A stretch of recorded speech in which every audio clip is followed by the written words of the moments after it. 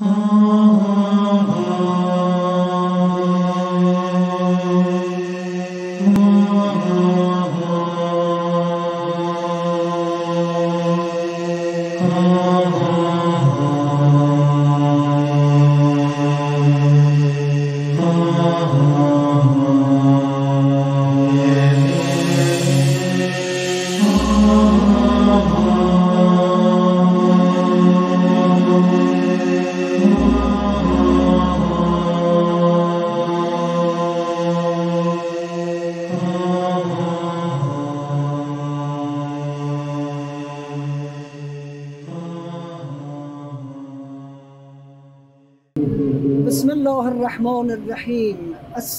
علیک یا رسول الله. السلام علیک یا خاتم النبیین یا امام الرحمه السلام علیک یا ابا محمد یا حسن ابن علی المجتبى السلام علیک یا علی ابن موسی الرضا المرتضى با سلام و صلوات بر خاتم پیغمبران پیامبر مهربانی ها حضرت محمد مصطفی و خاندان پاک و متحر ایشان و همچنین عرض سلام درود و تسلیت خدمت یکایک شما بزرگواران. آغاز می کنیم دومین ویژه برنامه از ویژه برنامه های در آستان خورشید از شبکه جهانی هادی تیوی. بسیار خوشحال هستیم تا با شما عزیزان از جوار بارگاه سراسر نور و ملکوتی آقا امام علی ابن موسی رضا علیه السلام صحبت می‌کنیم. این افتخار نصیب بنده و همه همکارانم شد تا در شبهای آخر ماه سفر در شبهای اندوه و حزن اهل بیت علیهم السلام این افتخار داشته باشیم تا از این مکان نایب و زیاره شما بزرگواران باشیم.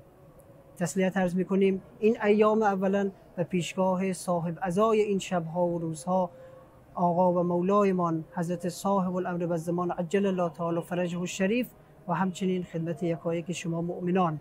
اگر به صورت زنده و مستقیمی برنامه را دریافت می‌کنید و یا در بازپخش ها همراه ما هستید حتما و حتما در برنامه خودتان اشتراک داشته باشین با ارسال ویدیوها، وایس ها و دلنوشته های خودتان که انشالله به نام خودتان در برنامه پخش خواهد شد و انشالله بتانیم کوچکترین خدمتی به شما بزرگواران بکنیم. شمایی که بالاخره از بعید زائر این بارگاه و آستان هستید.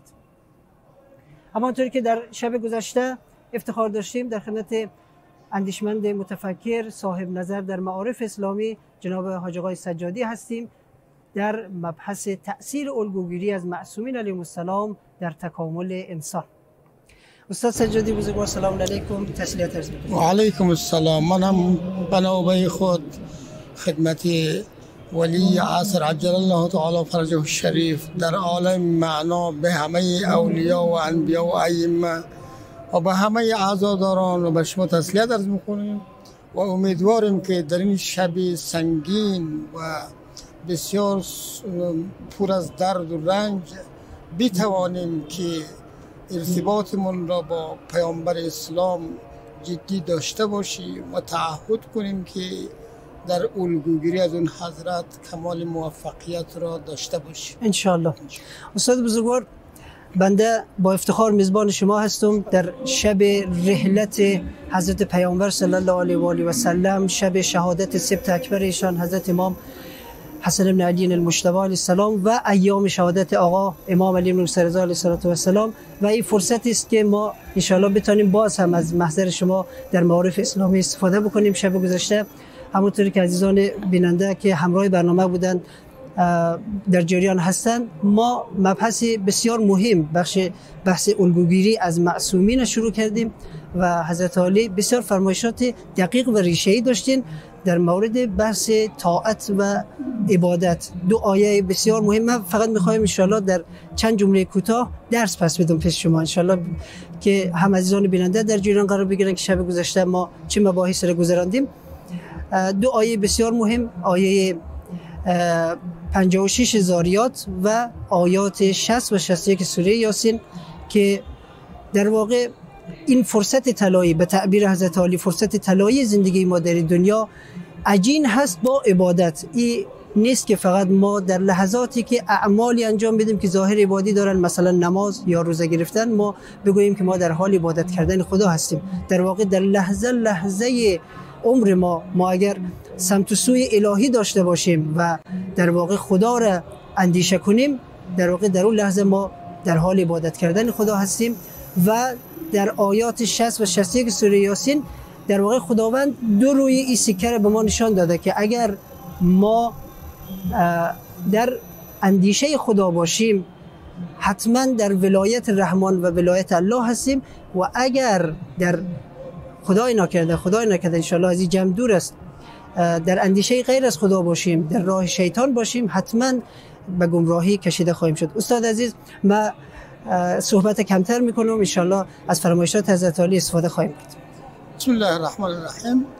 خلاصه گیری خوبی بود. بله ما در گذشته این بحث رو کردیم که آفرینش ما و خلقت ما و فرصتی که به نام زندگی در روی زمین داریم. برای اینه ما عبادت خدا را پیشه کنیم و عبادت را هم عام بدانیم. اطاعت خداوند. و ما در تمام لحظات زندگی سر دوراهی هستیم. دوراهی چیه؟ اینه که ما شیطان را عبادت کنیم یا خداوند را عبادت کنیم. پس خطر احساس خطر همیشه باید داشته باشیم که فرصت از دست ما نره. و در آیات در آیاتی که دیشب مطرح کردم از کلمه خلقت استفاده شده. قد خلقنا الانسان و ما خلقت جن و الانس. جن و انس برای بندگیه. این نیازمند بین دیشب ما فقط اشاره کردیم. بله. فقط یک آیه را به مناسبتی مطرح کردیم که خداوند میفرماید ما شما پیمان گرفتیم.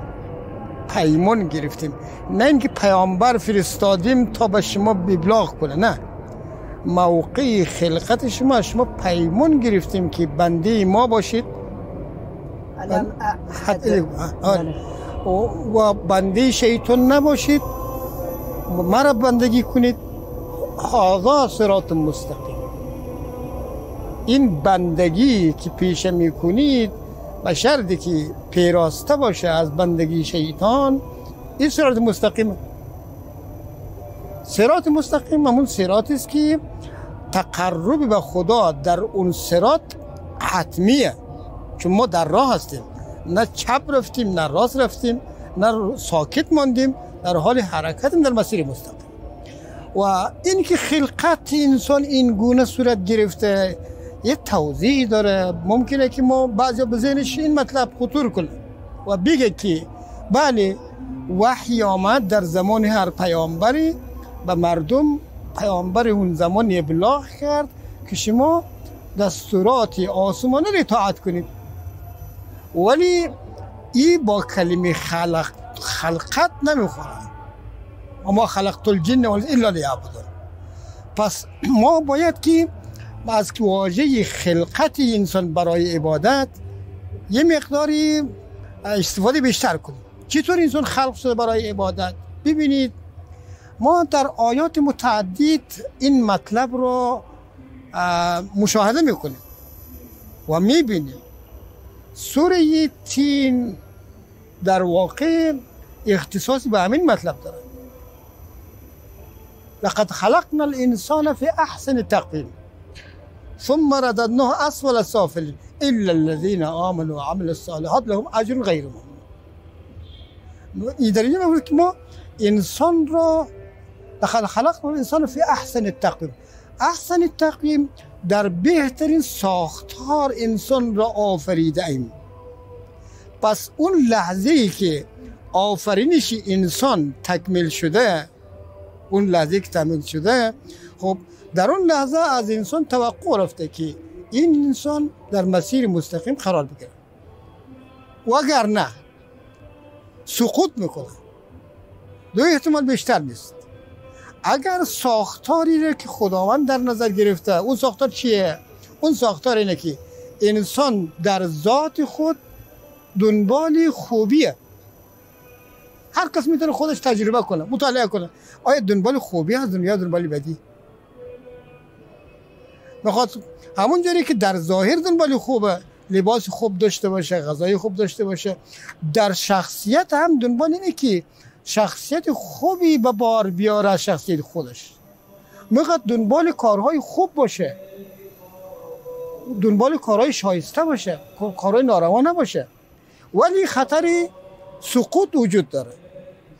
اونم بر اساس سنت خداوند سنت خداوند برای اینه که اگر اطاعت شیطان کرد ولو یک دقیقه یک ساعت چند ساعت در اون لحظاتی که با وسوسه شیطان زندگی می‌کنه در حال سقوطه رددناه و اسفل از پایین ترین پای مرتبه از سقوط را انسان رو تهدید می‌کنه. پایین ترین مرتبه از سقوط انسان رو تهدید می‌کنه.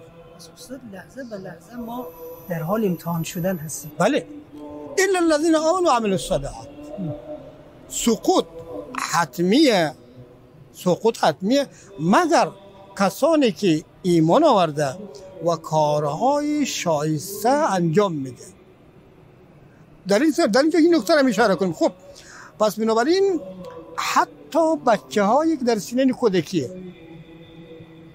پدر و مادر نگن که این تکلیف نداره. فطرت بچه فعاله. اونم خلقت خداونده خب تربیت چی میگه؟ تربیت میگه تو دست بچه را بگیر که برخلاف فطرتش عمل نکنه. درسته که هنوز مکلف نشده. تکلیف متوجه او نشده. امر متوجه او نشده. ولی خلقتش چگونه بوده؟ خلقتش این بوده که هم خوبی ها را خوب بدانه. و هم بدی ها را بد بدانه این اصل کار را متوجه که بده و بدیش را متوجه کار شایسته را خو... هم می‌شناسه و شایستگیش را می‌شناسه. پس از این فرصت چرا استفاده نکنه؟ در واقع استاد شما میفرمایید که قدرت و ابزاری یکسان و با یک قدرت به همه انسان ها در بعد تولد داده شده که بدی و خوبی را از هم تشخیص میده. یعنی گویا به پدر مادر اینجوری میگه که این بچه کنون به دنیا آمده. چیشم باز کرده؟ این بچه می‌تونه در حال صعود باشه. در حال رشد باشه. در حال تکامل باشه. خب چرا؟ برای که در خلقتش فطرت خلق فطرت وجود داره. یا به تعبیر دیگر هم عمل شناسی در فطرتش نهفته و هم خوبی و عمل خوب و بدی عمل بد رو میدانه لذا بعضی بچه ها یک سال دو سال بیشتر نیست. اگر بهش پدر مادر دروغ بگه اخم می‌کنه. میگه تو دروغ گفتی. از کجا فهمید که دروغ بده؟ کی آموزش به دروغ بده؟ بر اساس فطرتش می‌داند که دروغ بده. فوش دادن بده. منتها بله تکلیف نداره درست تکلیف نداره ولی دو تا معلم خداوند برایش خلق کردن به نام پدر و مادر که دستش رو بگیره تذکر بیده که بچه این کار بده. او با یادش میگه که ها در خلقت ما هم بدی کارهای بد گنجانده شده. پس ببینید ثم رددناه اسفل سافلین تهدید بزرگیه خلقت انسان بهترین ساختار را داره. ببینید ساخت مخصوص ساختار ظاهری نیست. چرا؟ برای که ساختار ظاهری ثم رددناه اسفل ثم رددناه اسفل سافلین سازگار نیه بله ساختار ظاهری با پیر شدن فرسوده میشه. اما سقوط کردن به پایین ترین مرتبه سقوط ارتباط با جسم نداره. سقوط کردن ارتباطی با روح و روان داره. پس این ساختار زیبا مربوطی به روح و روان هم میشه. تو میلی به دانستن داری. این زیبایه. خب میلی به این که اخلاق خوب داشته باشی. این زیبا زیباییه. میلی به این که های بلند داشته باشی. این زیبایه. میلی این که از گناه دوری کنی. اینم زیبایه. احسن تقویم این هم جز ساختار انسان اگر شنون چی؟ این ساختار رو مغتنم شمرد. این ساختار رو فرصت شمرد. هم ایمان می آوره وقت پیامبر مبعوث شد. وقتی به سن تکلیف رسید. و هم دنبال انجام دادن کارهای شایسته برن تا پاداشش همیشگی باشه دائم باشه در بخش آثار عملی صالح و آثار اقتدایی به اهل نعمت و آثار اقتدایی به پیامبر مطرح خواهیم کرد. پس این آیه آیه آیات سوره تین را خوب مطالعه کنیم. آیه سوره شمس هم چنین مطلب را مطلب مطلب مسئله فطرت مطرح می‌کنه. ببینید کلمه نفس در قرآن گاهی به وجود استعمال شده. گاهی است که بر روح استعمال شده. در سوره شمس مقصود و نفس و ما سواها. مقصود روح ساختار روح سوا به معنی ساموندهیه اما اینکه روح انسان ساموندهیش چیه؟ کمتر توضیح داده شده. حتما اراده جایگاهی در روح داره.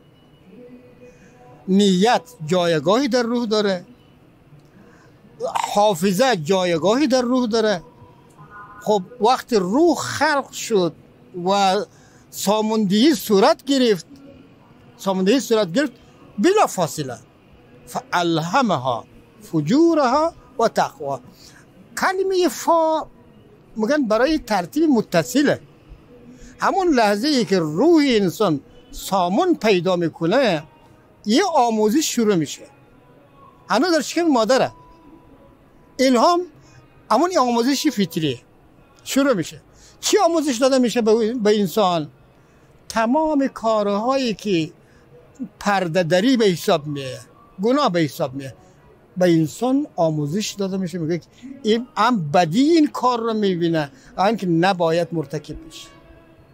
تمام تمام کارهایی که منجر میشه به حفظ جان انسان.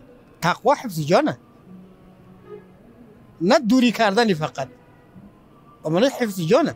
خب این جانی که دارای فطرت به انسان بعد از اونی که وجودش ساموندهی شد دنیای روح و روانش سامونده شد بلا فاصله یه آموزش داده میشه که تمام کارهایی که به حفظ جان و روح و روان منجر میشه به او آموزش داده میشه.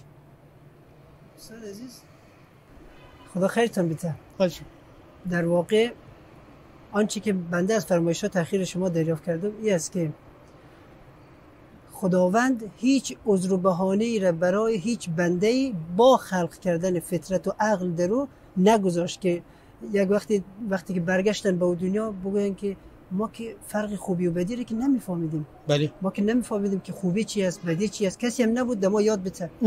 و در واقع این ابزار و کسی هم مدعی نمی‌تونه باشه که ما واقعا این ابزار رو نداشتیم. ما نمی‌دونستم که رای خوب رای بد معلمم نداشتم. در واقع از همون ابتدا ما این سلاح درونی را ما این قدرت درونی را داریم. برای تشخیص آنچه که میل به خوبی هاست و آنچه که میل, میل نکردن به بدی هاست. استاد ما یک فرصت از شما می‌خوایم. خوش در واقع به ما گفتن که ما بیشتر اعلام بکنیم که عزیزان بیننده بیشتر مشارکت داشته باشند در برنامه.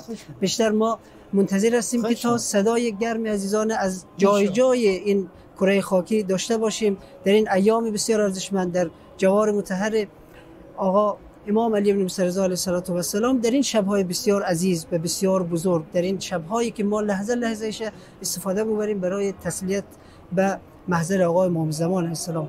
ما از شما ازدار می‌خواهیم که با پول ارتباطی برنامه در ارتباط باشین ویدیوهای خودتان وایس و دلنوشته هایی که دارین حتما با ما به اشتراک بگذارین. ما حتما در خلال برنامه های چه امشب و چه شب های آینده که در خدمت شما باشیم اینا را پخش خواهیم کرد با صدای خودتان به نام خودتان. ان که از ما قبول بفرمایید. امکاناتی که در این حد ما داریم بالاخره اجازه میده که شما را و از طریق چشم هایتان و دل های مهربانتان به این حرم و آستان بیاوریم و انشالله بتونین زیارتی داشته باشین از بیت.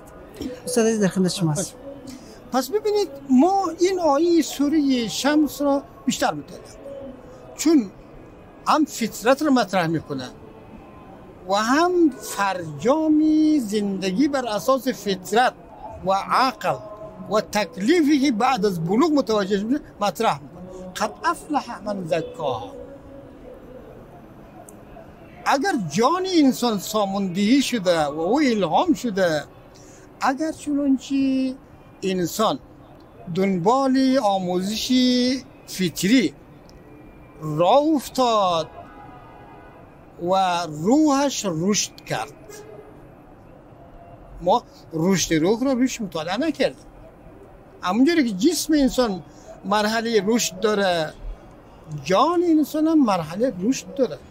اون تا با دو جلوه نمایان میشه. یکی که روحی در حال رشد هم تاریکی ها تاریکی زدایی میشه ازش گردگیری میشه غبارگیری میشه و هم ترقی و تکامل پیدا می‌کنه. چون شما درخت رو می‌بینید. اگر ما انگل ها را از نیال نچینیم مانع رشدش میشه. اگر چون ما آثار گناه را از سیمای روح پاک نکنیم روح رشد نمی‌کنه پس این میگی قد افلع من ذکاها. می‌خوای تو با تمام خواستهات برسی یا نه؟ چرا؟ ما تمام آرزوها و آرمانها برس. یک راه داره تسکیه و پاکسازی جان. رشد جان روح و روان و پاکسازی روح و روان. مگر روح هم پلیت میشه ناپاک میشه بله قد خواه من دستا اون دوراهی سر دوراهی در این صورت مطرح شده. ما توی که در دنیا قدم گذاشتی سر دوراهی. یا مشغولی پاکسازی و رشدی شخصیت روحی خود هستی یا نه مشغولی؟ پرده کشیدنی بر روی خواستای فطری خواست. دست ها تصیه به معنی کشیدن تاریکی و پرده بر روی اون خواسته های فطریه اون خواسته فطری که الان با عنوان آموزش انسان در, در قبل از بلوغ موقع خلقت مطرحه. بعد عقل تصور می‌کنه درک می‌کنه. و بعدم در بر اساس قرآن تکالیف هم میاد همون رو تایید می‌کنه. خب این آقا چیکار کرده؟ آمده گرفتاری بندگی شیطان شده. هر عمل گناهی هر عمل گناه یه پرده است که روی میل فطری کشیده میشه. تصیین همین پرده کشیدن روی جان. جان خواسته داشت. دنبال خوبی ها بود. گناهی که ما مرتکب میشیم عملی که بر اساس واسه شیطان انجام میدیم یه پرده ایجاد میشه. یک تاریکی ایجاد میشه. یک سیاهی ایجاد میشه که روی اون فطرت کشیده میشه. و از اون که تکرار شه. بله. هر خلافی که تکرار میشه هر گناهی که انسان مرتکب میشه اون پرده زخیم و زخیم تر میشه. تا کارش به جایی می‌رسه که دیگه فرصت توبه هم نداره. توبه هم نمی‌تونه که اون پرده رو برداره. پس ما برای شناخت فطرت و نقش فطرت و اینکه فطرت چگونه سرنوشت انسان رقم می‌زنه سوره شمس رو بخونه. حالا که این دو, دو آیه رو مورد توجه قرار دادیم بریم به سراغ آیه سوم سوره فاطر استاد عزیز حالا انشالله میان برنامه نزدیک است و انشالله آیه که انشالله فرمودین بعد از میان برنامه از شما انشالله خواهیم شنید و یاد خواهیم گرفت.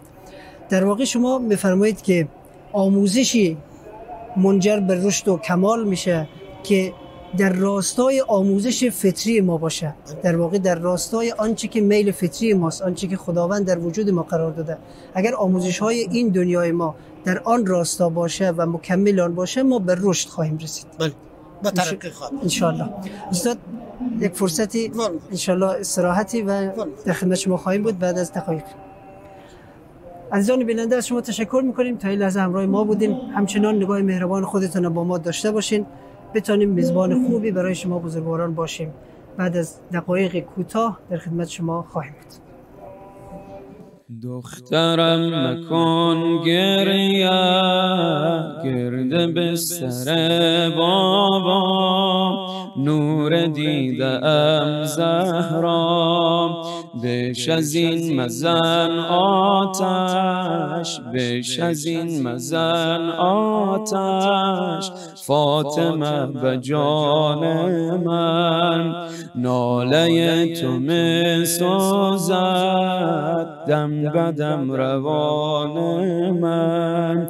نور دیده بابا دخت مهربان من. ناله غم گیزد خون کند دل بابا. دخترم مکن گریم گرد بستر بابا. نور دیدم زهرا. چهره دلانگیزم پر شد از غبار غم. از جهان خود برگیر. گرد قصه و ماتم. شادی تو گردد زخم سینه را مرهم. مونس و انیس من. روح اسمت و تقوا دخترم مکن گریم گرد بستر بابا نور دیدم زهرا همدم پدر بودی وقت درد و تنهاییم. مایه امید من. اسوه شکیبایی. اسوه شکیبایی. بعد رفتن بابا. بعد رفتن بابا. تو انیس مولایی می شود علی بعد از مرگ من پدر تنها. دخترم نکن گریه گرد بستر بابا نور دیدم زهرا. سینه با تو می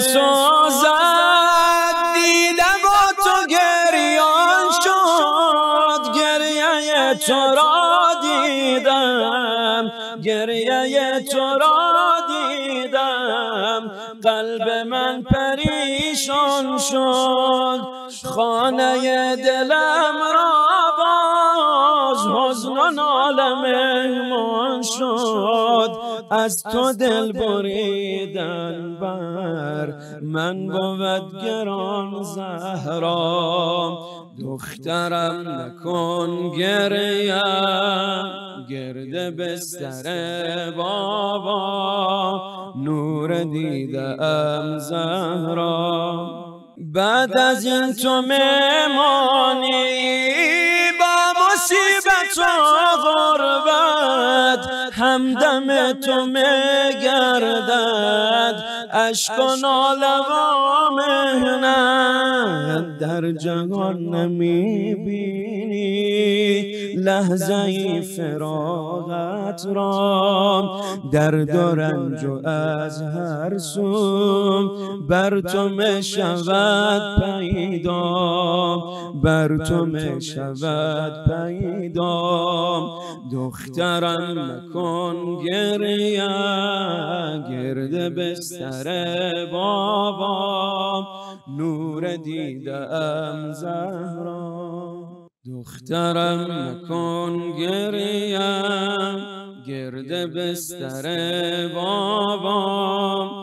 نور دیدم زهرا سینه با تو می سازد دیده با تو گریان شد. گریه تو را دیدم.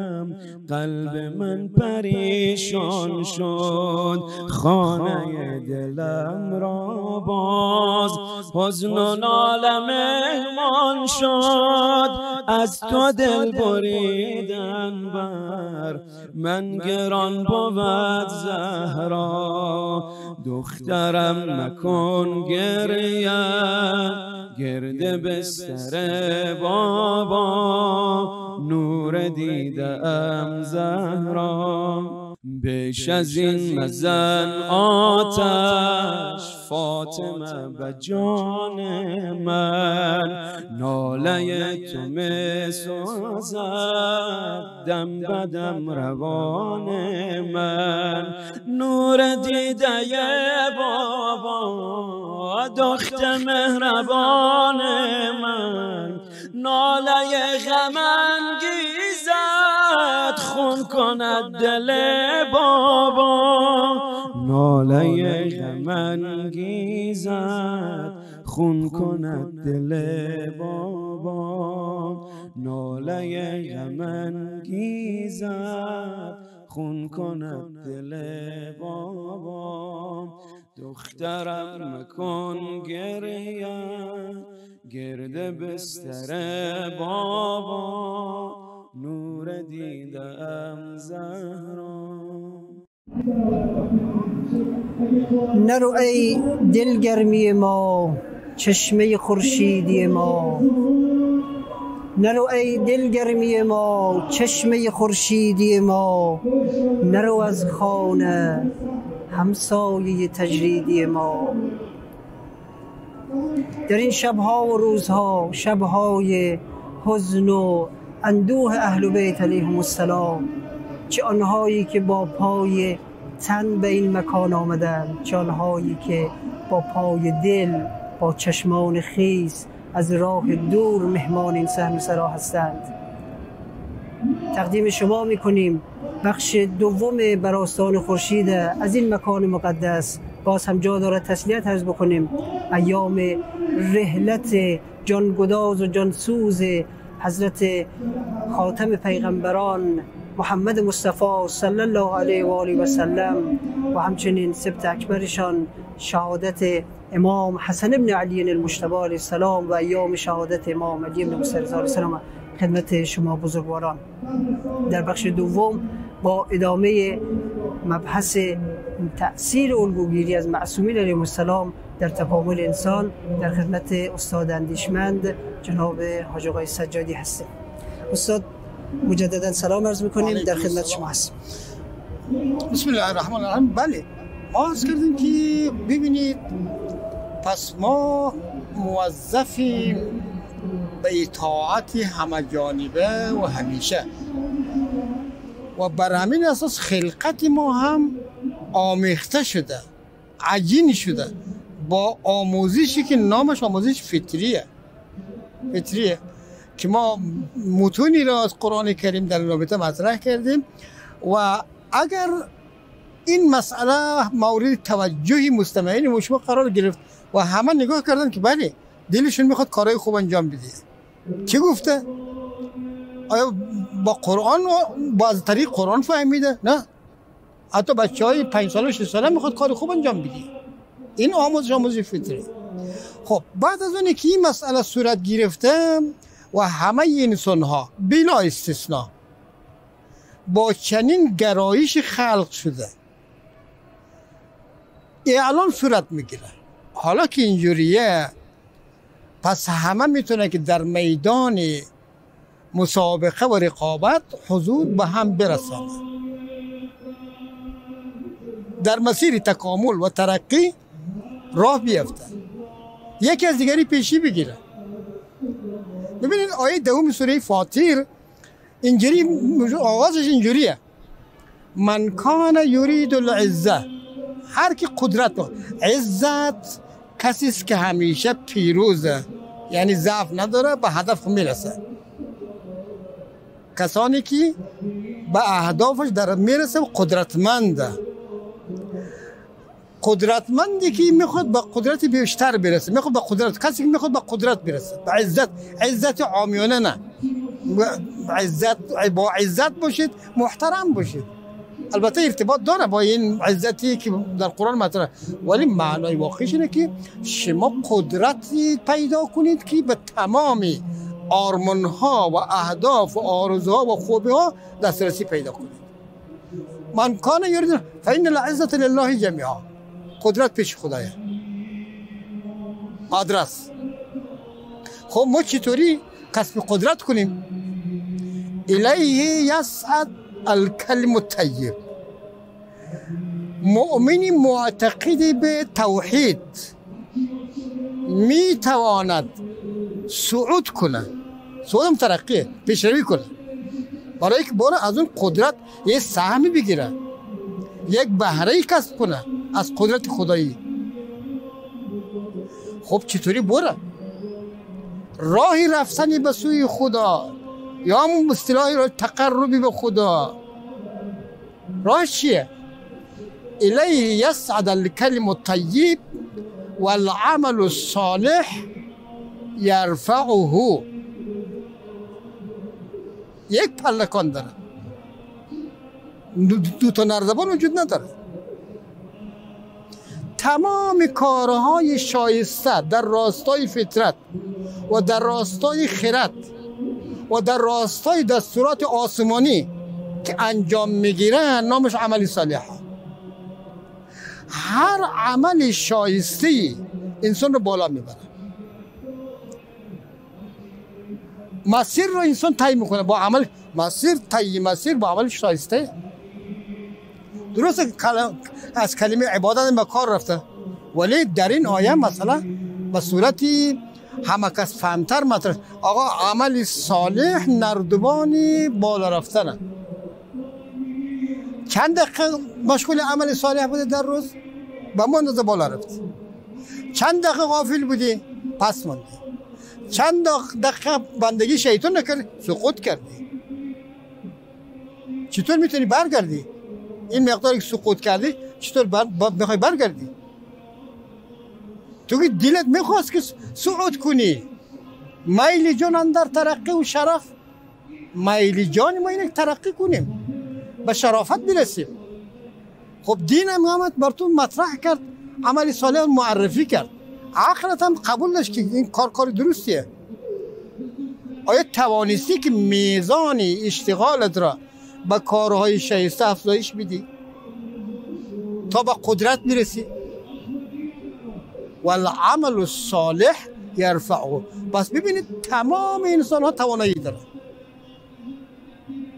شما فرمودید توانایی را همه ما داریم. فطرت هم خداوند به عنوان یک آموزش قبل از تولد قبل از خلقت به ما داده.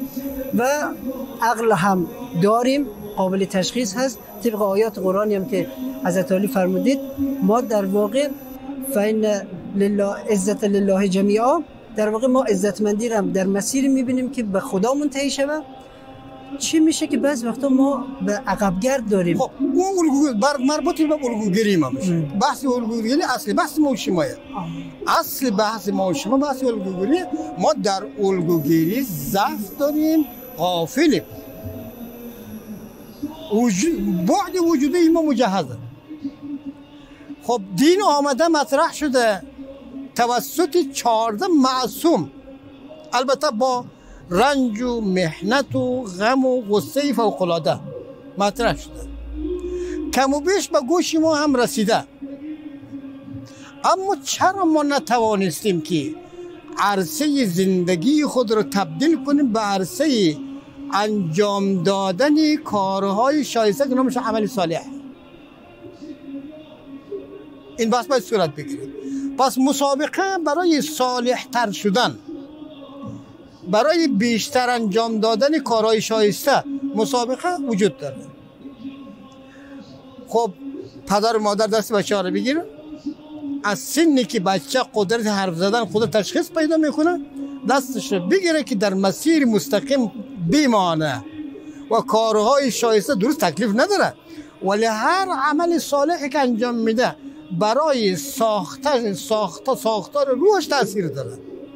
شخصیتش تکامل پیدا می‌کنه ترقی پیدا می‌کنه هر عملی صالحی. اگر این دعوت عمومیه دعوت عمومیه بعضی ها این دعوت الهی را میپذیرن. میگه خب ما تسلیم شدیم. مسلمان میشه. خب طبعا لازمه پذیرش این دعوت اینه که همون جوری که فطرتش رو تحریک می‌کنه عقلش با او همسویه برن دنبال شناخت دین. تمام آیات قرآن و سخنان معصومین علیهم السلام توضیح همون فطرت است و همون چیزی که عقل تایید با شناخت همگانی شد خب این دعوت توسط بعض افراد دنبال شد. اونا کیه؟ اونا چهار گروه هست که شب گذشته اشاره کردیم. من النبیین و صدیقین و شهدا و صالح. اینا کسانی است که این دعوت را قبول کردن و خواستن در راستای فطرت زندگیشون تنظیم کنن و تمام فعالیت هایشون عمل صالح باشه خب مسلمان رو چطوری آموزش دادن؟ ببینید نماز سوره حمد در هر نماز ما می‌خوانیم. خب وقتی میگم اهدنا الصراط المستقیم صراط مستقیم رو فهمیدیم عمل های عبادی. هم اطاعت رو شامل میشه هم پرستش شامل میشه. بعد دنبال صراط مستقیم یک توضیحی میده قرآن. میگه بدان که این صراط را کیها طی کردن؟ این راه را صراط مستقیم را کسانی طی کرده که اهل نعمتن صراط الذین انعمت علیهم صراط مستقیم صراط کسانی است که اونها مشمول انعام خداوند. نعمت های خداوند. شده نعمت های خداوند شامل حالی را شده. خب اونها کیه؟ اونا رو توضیح میده. توضیح میده یطاع الله و رسول بعد ذلك فاولك مع الذين انعم الله عليهم کسانی که اطاعت خدا رو می‌کنه بندگی خدا رو می‌کنه و اطاعت پیامبر رو می‌کنه اونها با کیه؟ با کی باید باشن؟ انعم الله علیهم. با کسانی که اهل نعمته اونا کیه؟ من النبیین و الصدیقین و الشهداء و الصالحین. حسن اولئک رفیقا. برای که هر چی دیده بیند دل میل می‌کنه با او باش. خداوند علاوه بر قرآن علاوه بر فطرت علاوه بر عقل آمد این بندگانش را مورد عنایت قرار داد چون اونو خواست. که در صراط مستقیم باشه. هر کی بخواد در صراط مستقیم باشه خدا او را دستش می‌گیره والذین اهتدوا زادهم هدى و عطاهم تقواهم. خدا با در خدمت همه. ولی کسانی که راه را انتخاب کردن صراط مستقیم را. خدا هم دست اونا رو گرفت اونا به مقام رسید. مقام انبیا مقام شهدا مقام صالحین مقام صدیقین.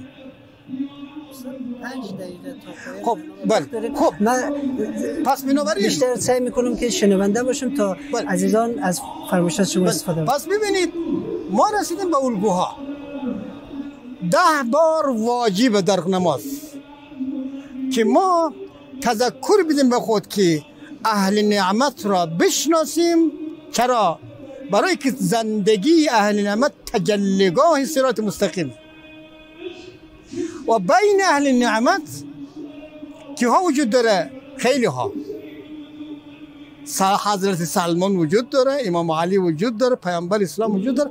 منتها پیامبر اسلام علاوه بر این که این آیه رو می‌خوانیم باید متوجه باشیم که ایشون در رأس اهل نعمت قرار داره. واجبه که موقع تشهد واجبه که صلوات بفرستیم برایشون برای که این الگو با سایر الگوها متفاوت. پس دعوت به الگوگیری و الگوپذیری در متن مقدسترین برنامه عبادتی و پرستش ما گنجانده شده که هیچ مسلمانی نگه که ما غافل بودیم.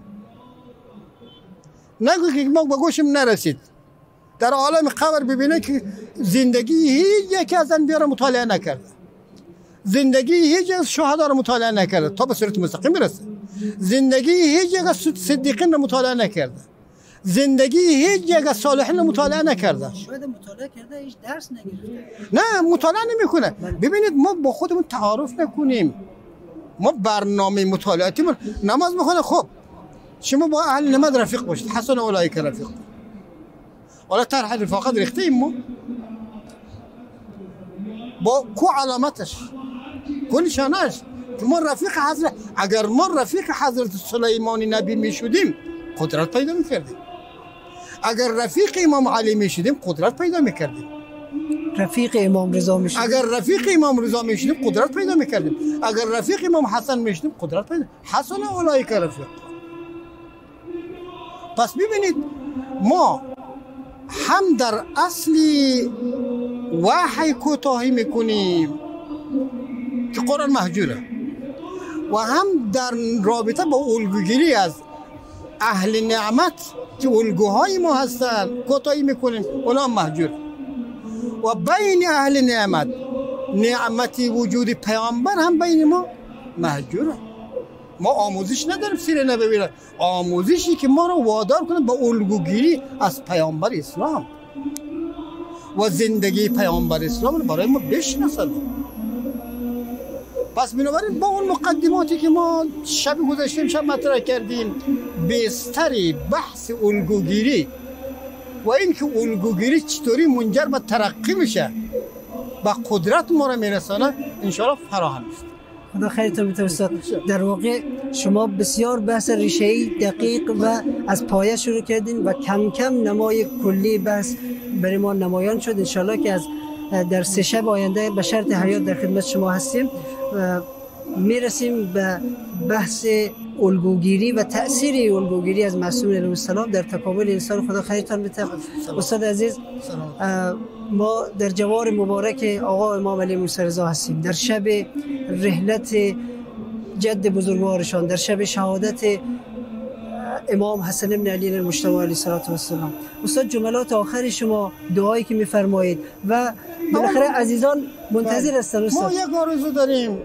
بیاییم امشب همدرد شویم با حضرت زهرا. 75 سال گریست.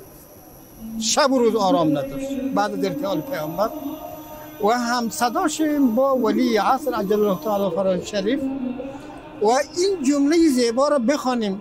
اللهم اجعل محیای محیا محمد آل محمد و مماتنا ممات محمد و آل محمد. اللهم صل علی محمد آل محمد. بسیار تشکر استاد. مثبت 964 780 255 40 13 منتظر دریافت هر نوع پیامی از شما بزرگواران هست. حتما از این فرصت استفاده کنید. همونطوری که حضرت استاد فرمودند برنامه امشب. انشالله با صلوات حضرت زهرا سلام الله علیها به پایان ببریم. اللهم صل علی فاطمة و ابیها و بعلها و بنیها و سر المستودع فیها بعدد ما احاط به علمک.